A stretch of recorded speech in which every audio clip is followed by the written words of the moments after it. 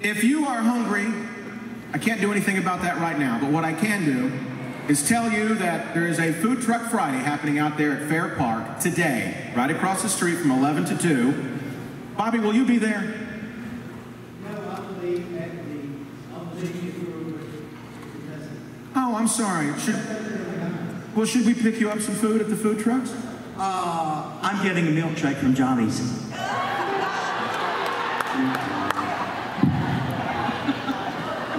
Sorry, Tom. So there's food trucks out there. they have live music. Bonfire Orchestra's going to be there, but you're with 18 ETA. So uh, anyway, it is actually very cool. Food Truck Friday happening out there from 11 to 2 o'clock, courtesy of the Tupelo Convention and Visitors Bureau. So enjoy the food, and I'll see you out there at least. I think some of my buddies from my radio station will be out there as well. If you want to go on the radio, just just tell them you want to go on. They'll put you on the radio. I asked, they put me on. It's not that hard, trust me.